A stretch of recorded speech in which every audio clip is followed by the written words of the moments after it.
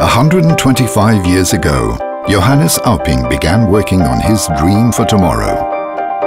Because tomorrow is always a surprise. Tomorrow, you'll take the trip of your dreams. Or go for Olympic gold. Tomorrow, you'll start your new career.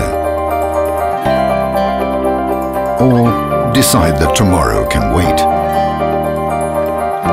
Because no matter what you're planning for tomorrow, tomorrow starts with a good night.